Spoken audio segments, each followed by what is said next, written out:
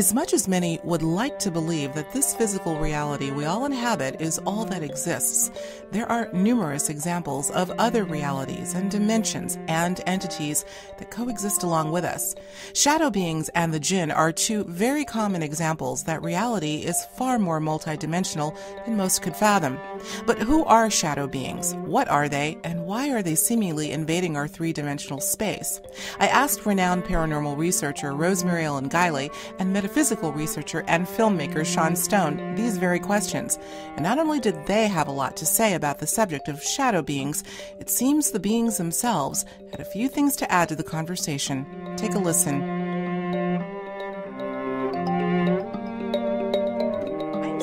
Thrilled to be here with two people who I consider to be what I'll call metaphysical aficionados, both from an historical perspective as well as modern day.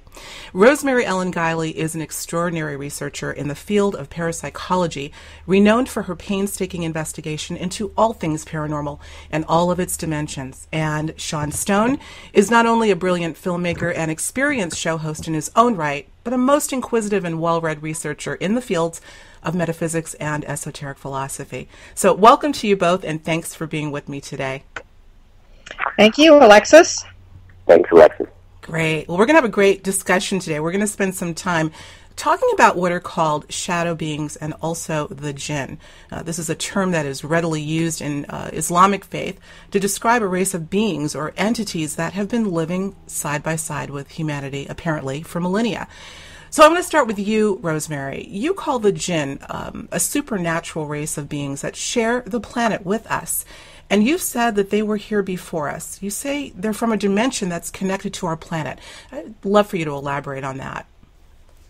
In their earliest lore, uh, and there are different accounts of the jinn, but they bear uh, some common similarities. In the earliest lore about the jinn, they were here on the planet first and had dominion over it and for one reason or another lost that dominion either by falling out of favor with uh, God or uh, losing out in other ways to human beings, a combination of various circumstances. And so they retreated from uh, the main physical world uh, into literally kind of an underworld. And even in the early lore, we find accounts of them going underground, living below the sand in caves, uh, beneath the earth and in uh, also in lonely remote areas. Uh, very similar to a lot of stories told about the fairies who also went underground um, when they lost dominion to human beings.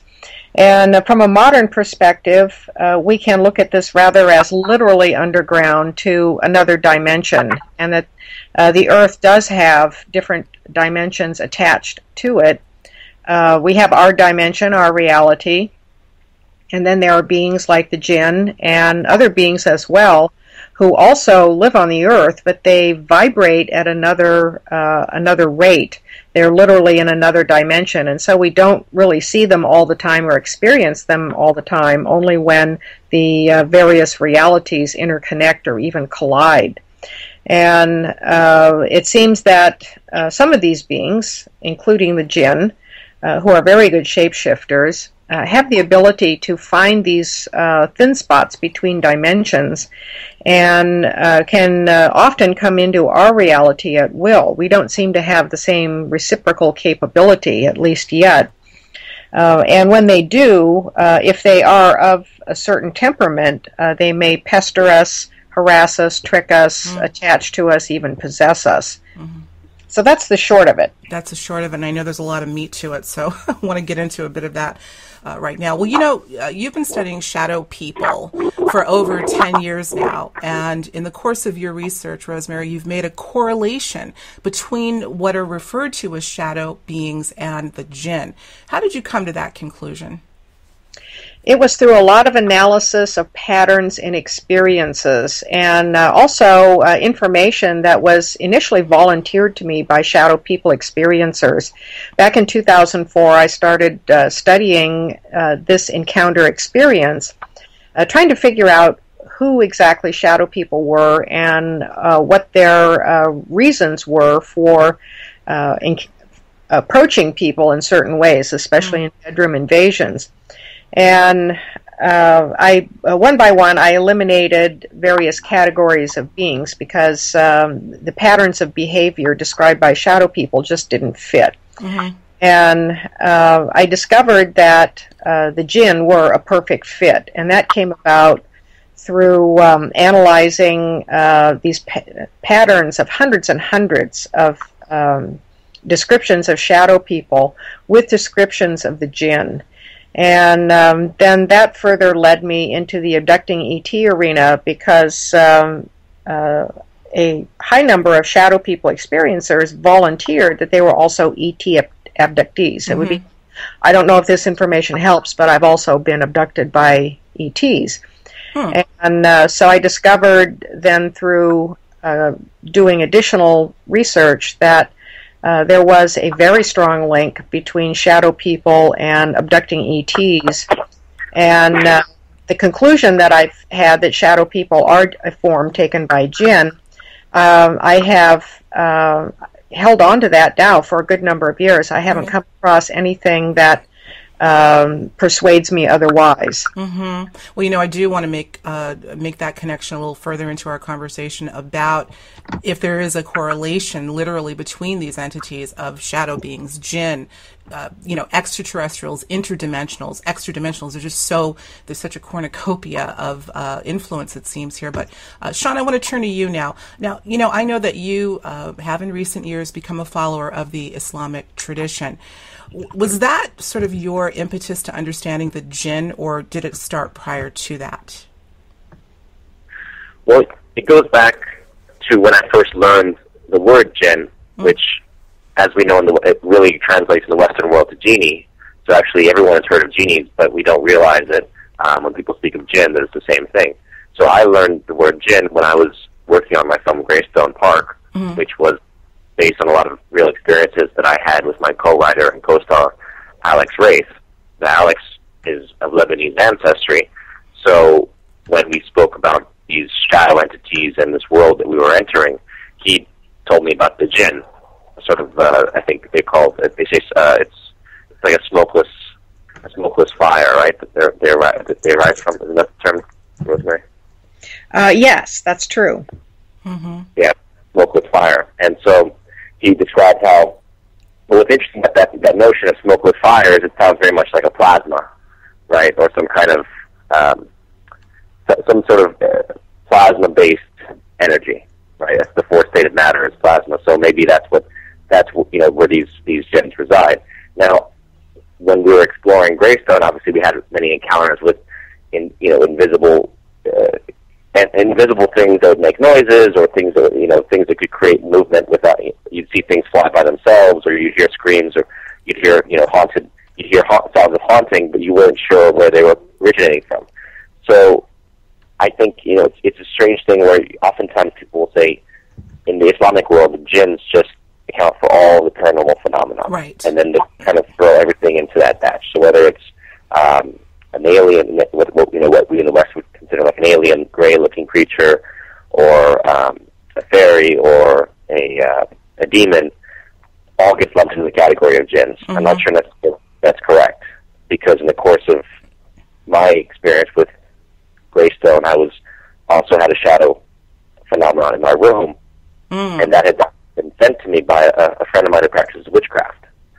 And so she had basically, uh, you know, conjured a shadow being and sent it to me. And my brief communication with the shadow being was a little more telepathic thing because it wasn't, it was it was lingering in the room. And so when I went to like a, a like a alpha kind of state where I'm near you're near sleep, and then I sort of communicate with this thing, it seemed to be saying that it was from, uh, you know, ten thousand years ago, and it was some kind of sorcerer. And what's interesting about that is this this old um, called Castaneda book. Um, I'm not sure. Actually, I can't remember which one it was, but he basically writes about these flyers. This, the Castaneda writes about the, what we call the flyers in the Mexican tradition. And the flyers sound very much like shadow people. They're basically psychic vampires. That they actually were the shadow forms of these old sorcerers and uh, people who practices who practice witchcraft. And he said, well, they, they buried themselves, and they then were able to project out of their their corpse. They, they were not dead they buried themselves alive and were able to basically bring their, their body temperature temperature and their energy to a very low state to survive for long periods of time, maybe hundreds of years. And in the course of that time where the body is buried, they would then project out of their body mm-hmm. in a shadow form to feed energetically on people. You see? Very. So very, yeah. that actually may be where some of the shadow phenomena is coming from, coming from, which is why people often say, "Why?" You know, the, some people who know this, they said, "Why do you think shadow people wear hats?" I said, "That's that's exactly my question. You know, if this is some kind of um, alien being, why does it need a hat?" And the, the, the, the reply I got was, "Well, they're protecting their crown chakra because uh-huh. they're actually project, they're actually projecting in an astral sense. You know, what astral projection is, right, where you're entering a different dimension of existence." And when you're basically protecting your, your crown chakra so you don't detach from it or, or let's say, get lost in the mm-hmm. process of this projection. That's so that's actually where I got, I got, I, I actually understood that shadow beings are, are oftentimes sorcerers or people back, or, or, or perhaps, you know, ancient, ancient sorcerers rather passed on into the, into the, into the astral. Mm-hmm. And I think you get a feeling for that in the film Insidious, where they kind of describe the astral plane, right, where there's all these beings that get lost or cut off and they're they're dwelling in, in the outer, called in, in that Insidious franchise. So mm. that may be where some of the shadow phenomenon comes from, and I'm not sure how much, you know, obviously the jinns could be could be shadowy because people when they do deals with genies, they do conjure these beings in sort of magic rituals, and oftentimes those beings can appear a sort of a smoky form or a, a, an, un, an inchoate kind of uh, substance that you're not quite sure what it is. Mm-hmm. So there are some certain, certain shadow phenomena that can be jinns, but I wouldn't say that they're all jinns.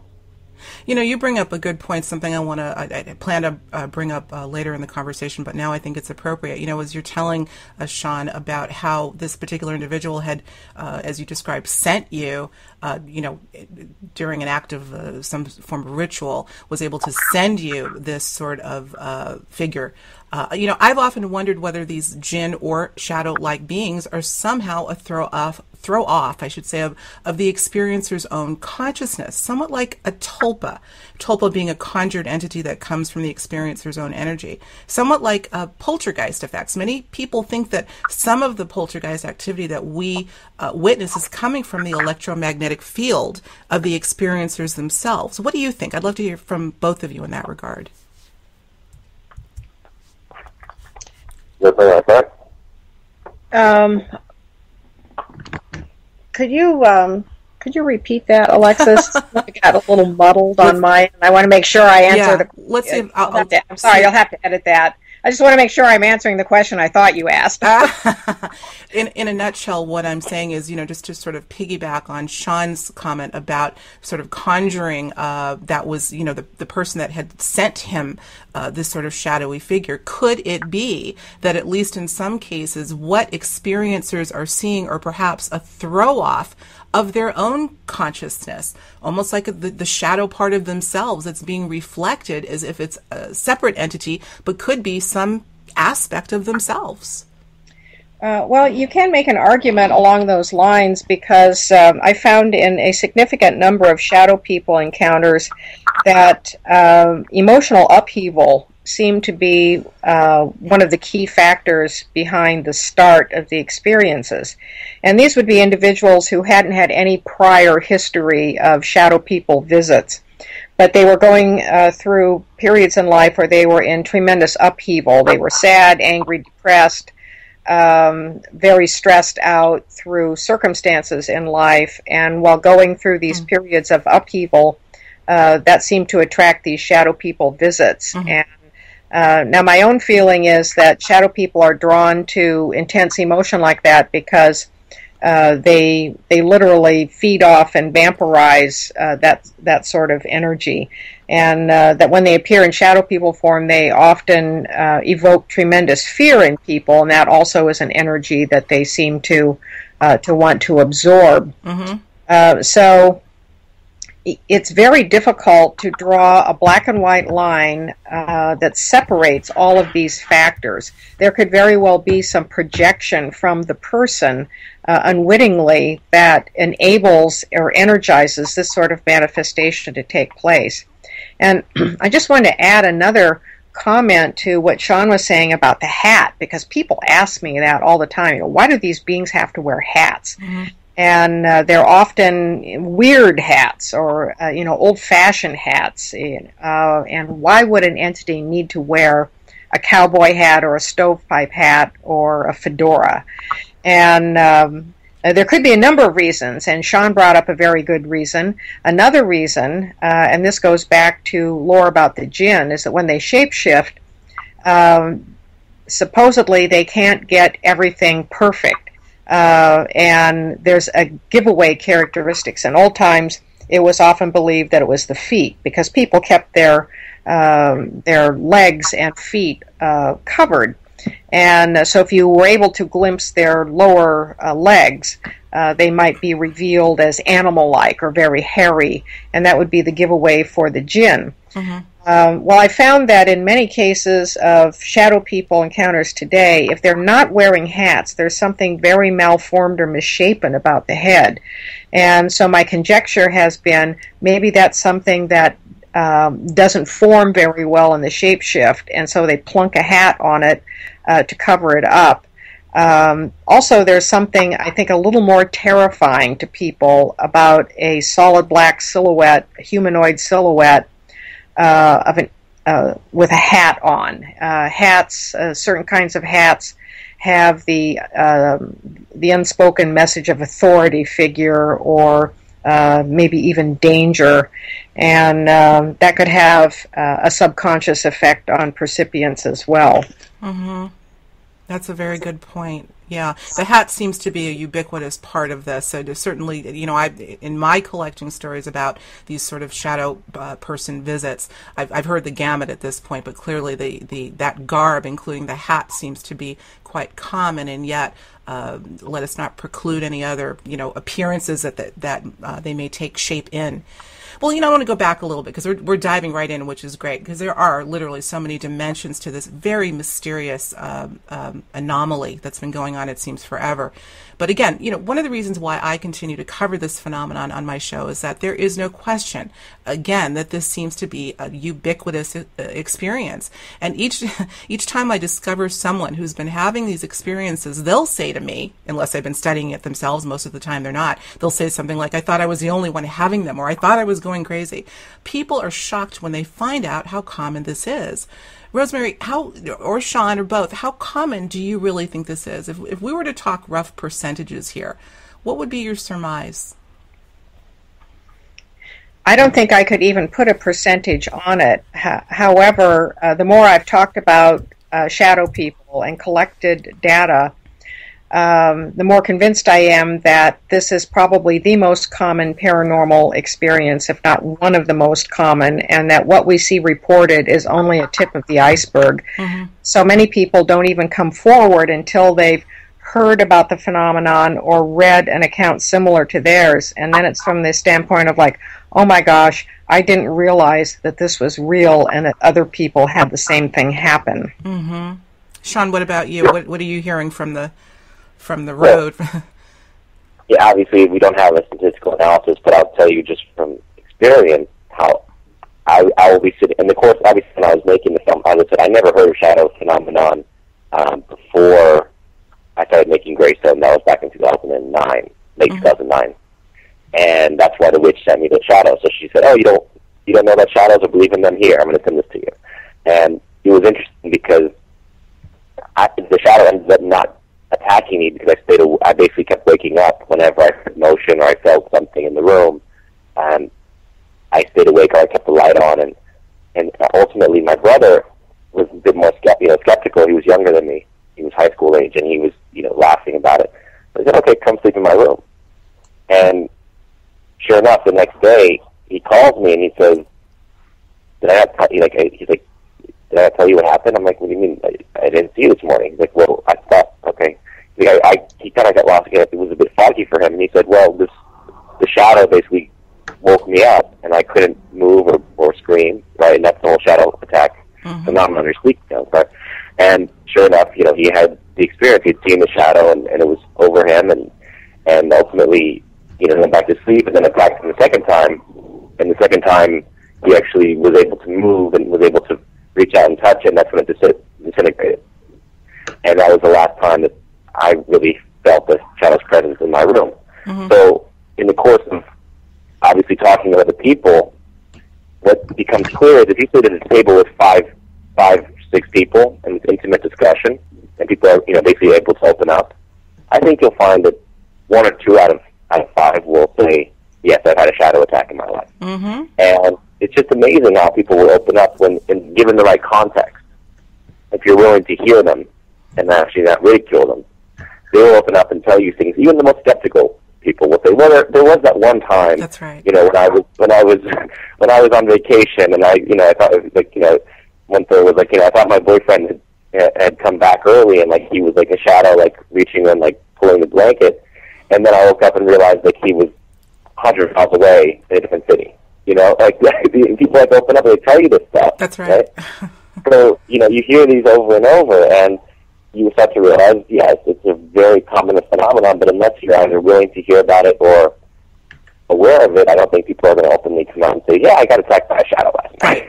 Right. right. Well, I mean, we could go into a whole philosophical dissertation as to why that is, and I think my audience knows. One of the reasons why I'm so dogged in covering this uh, subject, the, the broad subject of paranormal, among other things, is that I think that it is way beyond the factor of novelty. Uh, I keep using that word ubiquitous. It is uh, paranormal experience or extraordinary experience is a part of the foundation of our uh, being here. And I really think it's key to explore. I advocate exploration, safe exploration, of course, uh, to really try to understand, you know, what is going on, and if these sorts of things that I'm uh, not accustomed to seeing are happening, what am I capable of? So that's a whole other thing. We could go there, but you're, you're absolutely right, Sean. That how many people have I talked to, uh, lay people, uh, that would never otherwise open up? They'll ask me what I do. One thing leads to another. Oh, let me tell you about the time when fill in the blank. So I've heard it all.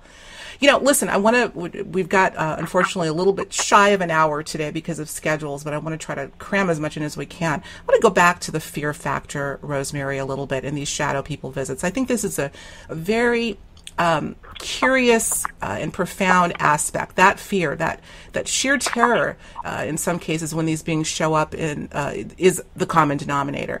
And I know, uh, Rosemary, you've made the point that the energy that's emitted from the emotion generated by this fear is key for them, acting as possibly a food source for these beings. This isn't the first time I've heard this, and Sean, I know you've addressed this as well in some of your uh, interviews. In fact, many contend that our very presence and the emotion that we emit can literally feed and sustain whole dimensions. Whole dimensions. What are each of your thoughts on that?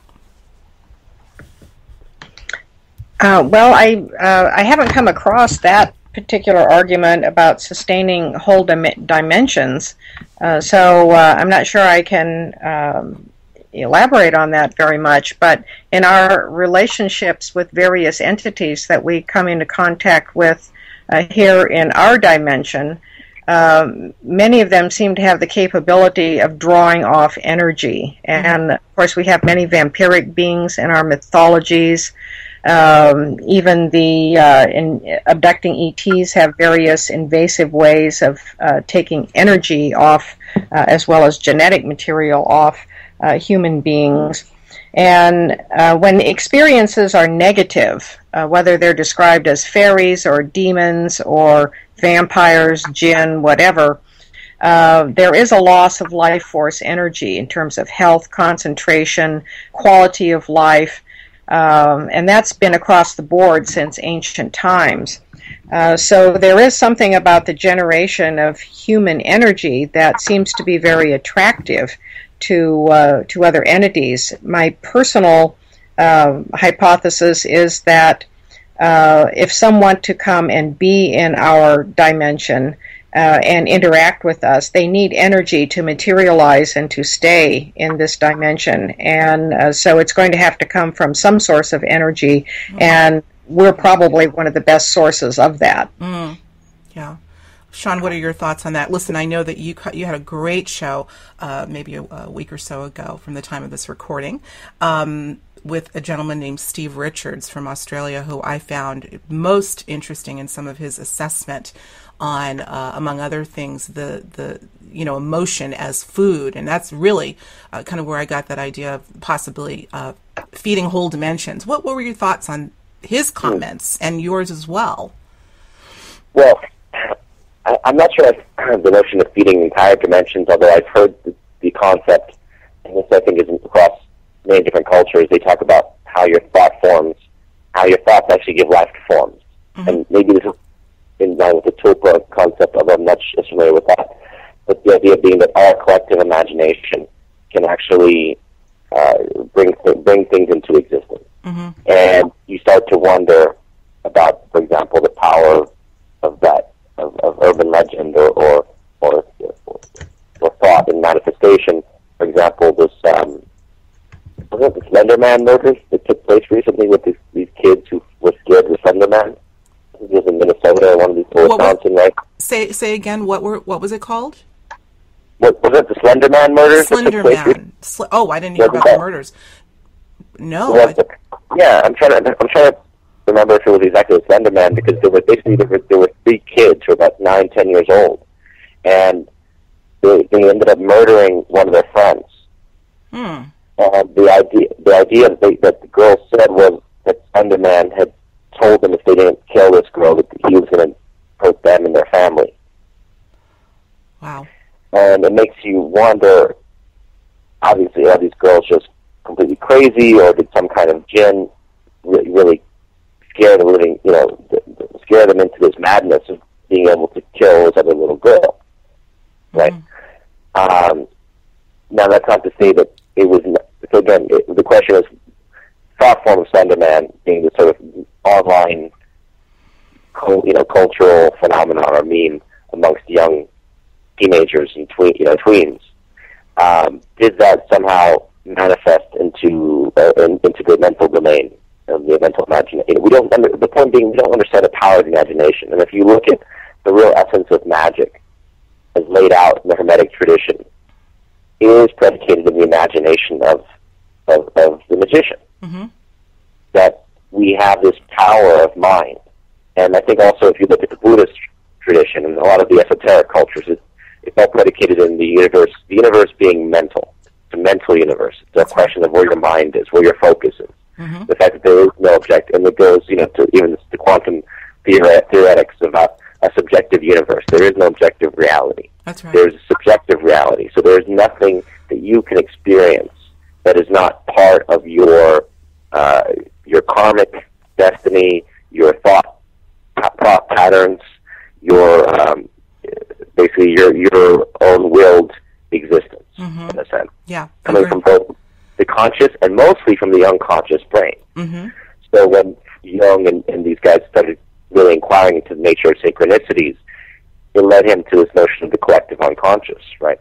How our unconscious mind is so much more powerful than our conscious mind, and from that, the unconscious of all mankind, how is that how is that influencing and implementing wars, social disasters, uh, environmental disasters, right? The weather, everything, all these things being manifested, and it, you know goes back to, to many of these uh, these individual and uh, um, these various these various uh, indigenous traditions, let's say, right? Mhm. Whether it's the Native Americans talking about the rain dance and the notion of being able to be in tune with the animals. And that's what you're talking about, Steve Richards, uh, concept, uh, Steve Richards on Buzzsaw in June talking about how there was a certain respect between the animal animals that were killed for for human food and the obviously and the, and the humans who understood that these animals were being sacrificed for their needs. There's a certain symbiosis between man and nature, Mhm. and the more that we divorce ourselves from that into this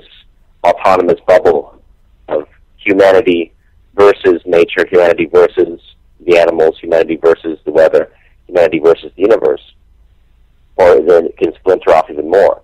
Because then we don't know, understand when it becomes a, a world of conflict, we don't understand who we're, who we're conflicting with. We assume that all these human-looking beings are human, and yet we don't know what's going on in their minds. That's We don't know who is possessed by entities, or what are called, you know, entities, or have made deals with jinns or demons in their heads, right? And thus, who is no longer really a human being, who is now just looks a human, but really is, is completely uh, mentally gone or psychically detached from this world. Mhm. So I think the point being that we, are, we we already are in a multidimensional universe, and we have to recognize that first and foremost and try to find a sort of holistic approach within ourselves because it really begins with every single person trying to find that, that, that symbiosis with family, friends, nature, surroundings, becoming more and more whole again. Mm-hmm. Mm-hmm. Wow. I think you're absolutely right. And as I'm listening to it, it just seems as if that there is truly this in, complete confluence of conditions that will allow for all sorts of call them hybridized situations to happen. I, I want to go. There, you said a lot there, but I want to. I don't want to lose this thought. I want to go back to the idea of uh, what I call creative imagination and the power of imagination that I, I, dare say most people, at least in modern society and in Western society, really have uh, no idea as to how powerful the imagination is. And needless to say, I think uh, so many people in modern day have lost that power of uh, true individual imagination. But you're right. You know, you know whether we're talking about um, you know the the unconscious uh, well not just unconscious but the the imagination and as it works with even the unconscious mind vis-a-vis Jungian philosophy but also uh, uh, I, I don't know if I'm pronouncing the name right Henri Corbin, who is a French philosopher, that believed that the imagination could truly materialize in what he called the imaginal realm, not imaginary, but imaginal. He believed that to be actually a dimension uh, in which one's consciousness could go to be able to manifest and bring it into the physical domain. So all of these things that you're mentioning, I, I think, do have merit. Uh, Rosemary, what what are your thoughts on all this? It's, it's a mouthful that Sean gave us a moment ago. You there, Rosemary? Did I lose her? Sean, are you there? Yeah, I'm here. Okay, looks like I may have lost Rosemary. Well, let's you know, let's see if she comes back to us. I don't know if she will. Rosemary, are you there? For our audience, just so you know, we had a little bit of an unexpected lull in our conversation. Um, you know, thank goodness the magic of uh, pre uh, of production, we can fix a little bit of this. But you know, we decided, Sean, Rosemary, and myself, that we should maybe let you in on what we think may be going on because it may be relevant to this uh, very un- anomalous and interesting discussion that we're having. We all got disconnected first, Rosemary. Um, and then I had to try to pieces all back together and then my computer uh, mouse froze and then rosemary you had some technical difficulties on your end what is going on here what's going on it's them and uh, them with a capital t that's another name for the jinn. uh, that went, and I've found this over the course of time. This has happened to me for years. That, uh, and especially when I get on on the radio or I'm filming uh, to talk about them, there's some kind of technical interference that either um, causes some interruptions or causes delays or even terminates the program. And in this case, uh, I'm sitting here on Skype with my computer on my lap, not touching it, and uh, all of a sudden the power went out. And I discovered that the plug to my computer in the back of the computer had been pulled nearly out. So I had been sitting uh, for a while without power, and then the battery went. And uh, then I had difficulty uh, booting the computer back up. And when it booted back up, it was missing Skype, which comes up automatically on my system. So I had to find Skype and re-sign in. So it's just like one thing after another. Yeah. Uh, but this is this is very typical. Wow. And Sean, you there? I'm here. Okay. Your thoughts? You're the one that when when we were trying to rehook up with rosemary you were you had made that comment. Uh, not at all facetiously i don't think. I'm, I, I wouldn't doubt it at all. It's too bad because i think we're having a very valuable conversation and i do think people need to hear it. Please know whomever is listening that this conversation uh, we are not having for the sake of novelty or just curiosity but rather importance that people understand who we are sharing uh, the planet with. Right? Mm. Well, look, I, I have no doubt that these beings, that there are beings that are invisible again, that can move things and make things happen without, how do you say, from some sort of interdimensional source. I had one night where I had been steeped in this in this knowledge and, and experience for about two years at that point, and I was in uh, New York at my father's apartment, and I was staying with a couple friends there, and it was very bizarre. The, the sequence of events was um, it was literally like a paranormal activity film where first thing it was like one in the morning or two in the morning, and there's a door the doorman building, so you don't have to get a phone call before anyone comes to visit. Well, these uninvited guests rang the doorbell, and I looked out and I, see, I saw a shadow pass across the uh, the, the eye hole. But I opened the door and there was no one there. so then I closed the door, and the, my and then uh, again my friend Alex was there, who was the one from uh, from Greystone. He'd gone with me there and, and done the film with me, and he starts getting emails uh, with messages that were very distinctly from some kind of something was watching us. And I also got texts on my phone and phone calls from these unknown numbers, and I knew it was, it was them. And so I just ignored it, tried to go to sleep. As soon as I'm in bed, I hear this heavy six foot door just slam shut. I jump, I, you know, I jump out of the bed, take, uh, take a look at it. Okay, okay, this is this is funny, guys. I just try to sleep. Next thing I know, I hear this buzzing sound, and it literally sounds like like a chainsaw or something is is grinding. I'm tr- like jump out of bed, run to the bathroom, and my toothbrush, my electric toothbrush, is spinning around in circles on the floor. Oh my goodness. Oh my goodness. There's your Greystone Park, okay? So this is just like this is just kind of fun, like them messing around. Yeah. you know, little things that they're doing. Um, and so, yeah, I mean, this is this is real. It's Yeah. part of the reality. And like, again, it's a question. I think that at the end of the day, it's not about being, it's not about saying like you have to be um, some kind of like crazy, uh, wild-eyed fanatic or you know, or believe in supernatural things. I think what people like us are interested in the science. We're trying to say, That's okay, right. look, the universe doesn't work scientifically the way you think it works That's right. that we have some theories that have been set down, and beyond that, we really don't know what's going on. We don't understand how how how the dimensions interact. You know, we don't understand uh, we don't understand what's beyond a black hole, or if black holes even exist.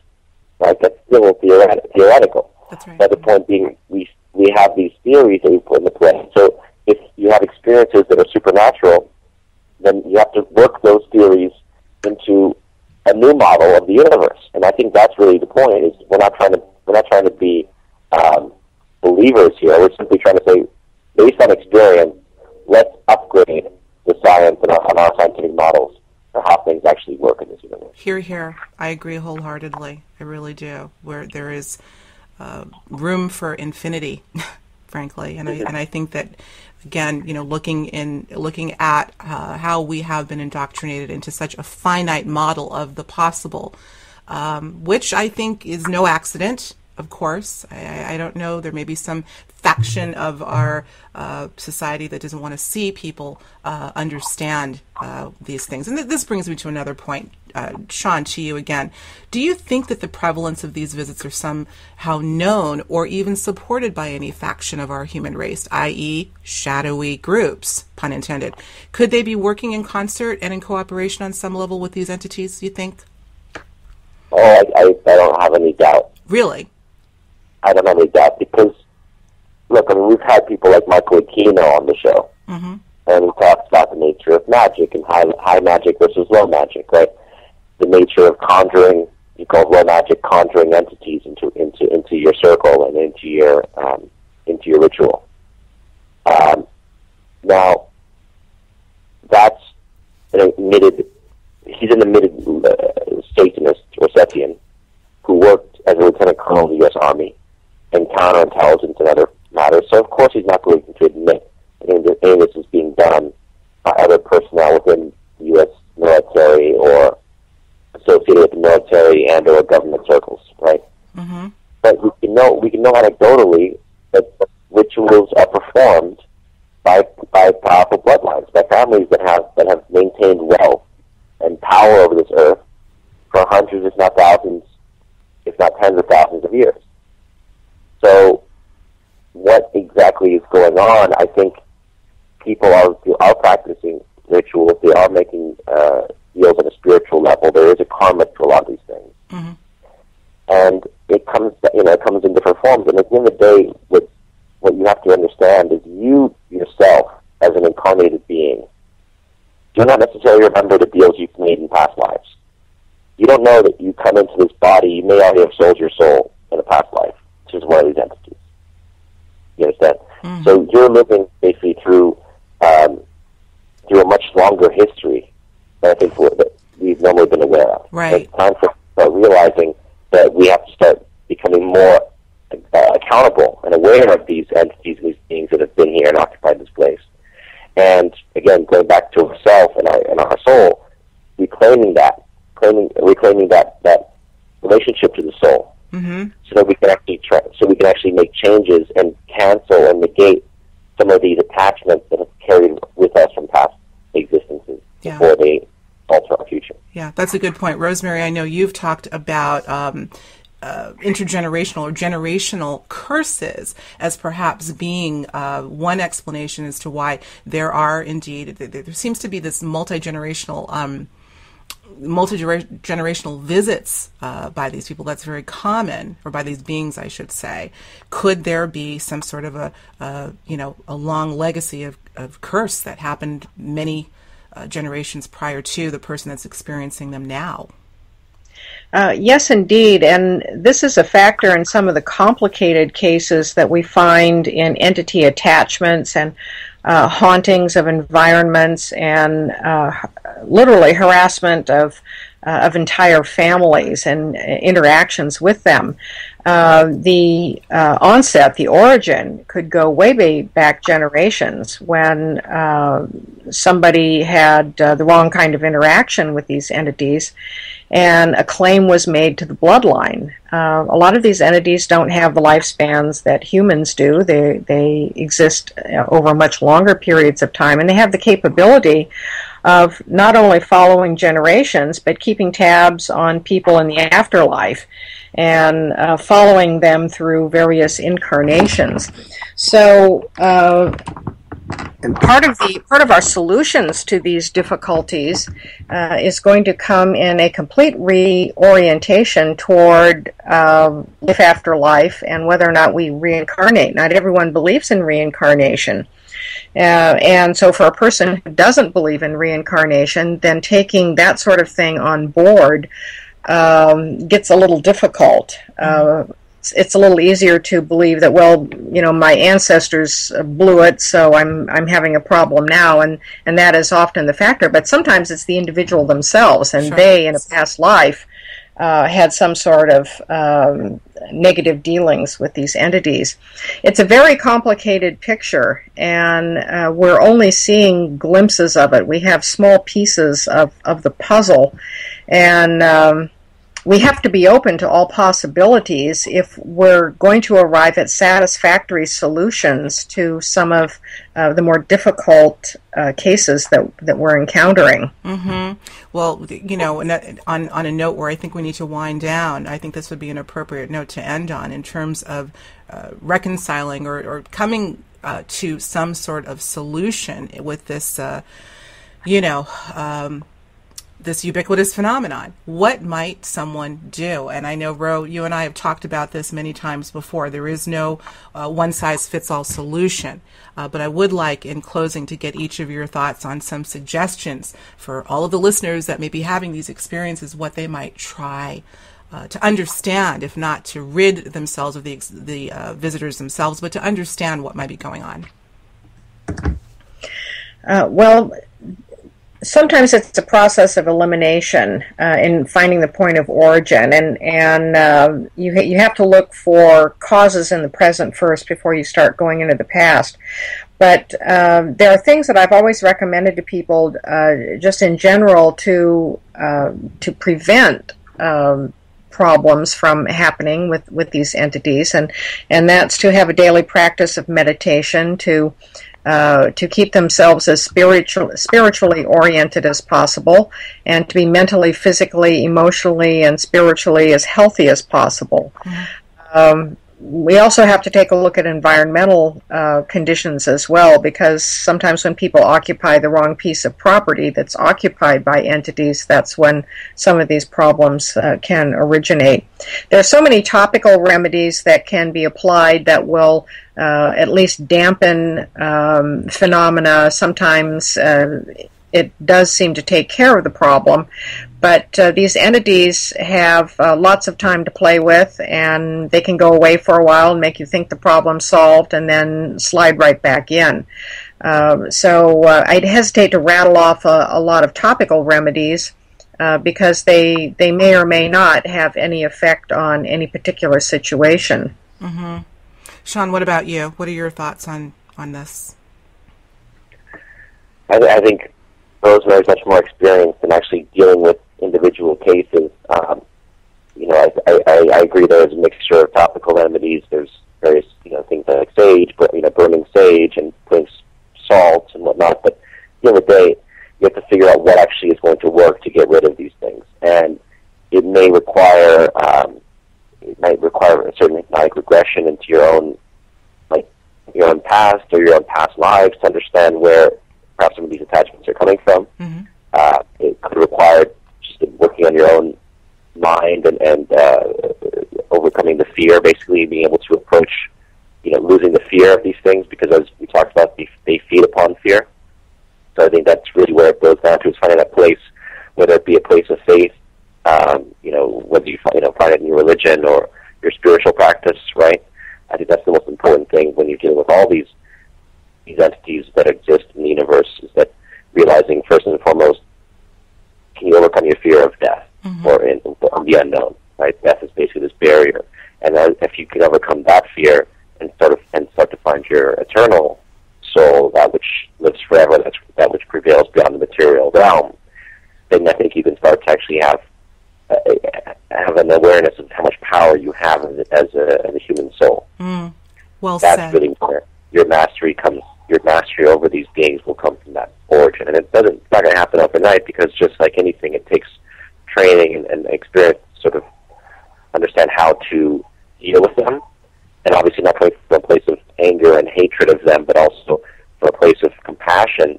Because the ones, not all, not all entities are bad, obviously. There's a mixture of, just like in humans, right? There are those who are more oriented towards the negative, towards the fear, lust, desires, the sin, the sinful side, right, which basically keeps them trapped in a cycle of feeding.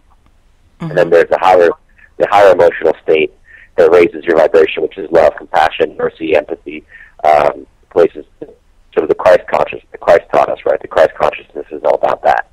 So the more you can raise yourself there and approach these beings with a command, but also with the with the ultimately with a, with a sense of love and and uh, forgiveness, perhaps, and offering them sort of a sense of uh, a sense that, that you're not you're not going to play into their game of being afraid and being fearful and being vengeful and being hateful.